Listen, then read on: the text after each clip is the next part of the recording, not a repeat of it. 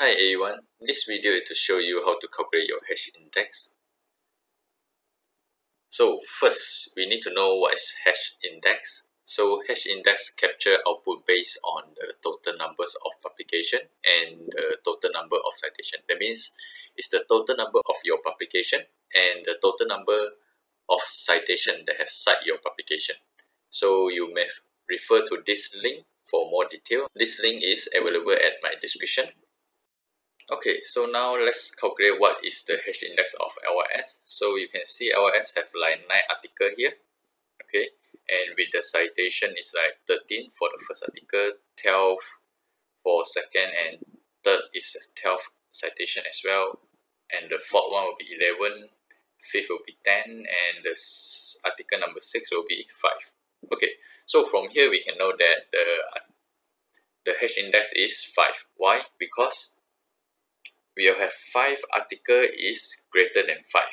That means here, we can't include this one, okay, because number 6 article, that means you will have like H index 6, H index 6 here, and you need to have like total number of paper. If this one is 6, then you will have H index 6 here. Okay, but unfortunately, we only have like 5 article is more than 5, so for this case, your H index is 5. Okay, so next.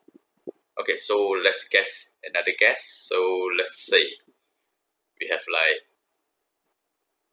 13, 12, 12, 11, 10, and 6. Okay, now we have like 6 article is more than or equal to 6 citation. So we will have H index 6. Okay. So let's go for another example. Okay, so from this case, let's say we have like 13, 12, 12, 11, 10, 9, and 6. Okay, so we have 7 article here, but only 6 article is greater than 6. Okay, so the H index will be 6. Okay, so if you want to have like H index equal to 7, H index equal to 7, we need to have this one must be 7.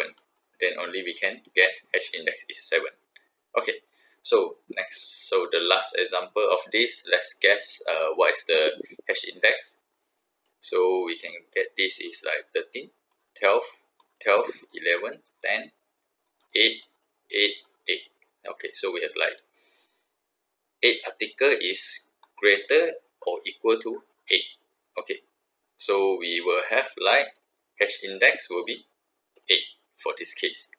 Yeah so this is how you calculate for your H index. Okay so let me give you a quick example how to calculate the H index to show that our calculation is correct. So let's say uh, this guy, Li Yang he has the H index 12 how he achieved H index is 12 so we can calculate follow the total number of article and the citation that he has. Okay so let's say now it's like 35 1 okay uh, greater than greater or equal to 12 so 1 2 3 4 5 6 7 8 9 10 11 12 okay this is why he get only like 12 H index. If you want to get like 13, and then this paper must be 13.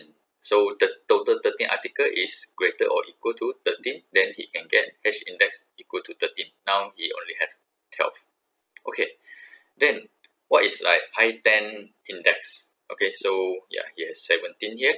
Okay, so refer to I10, okay, it mean like the number of publication which with at least 10 citation.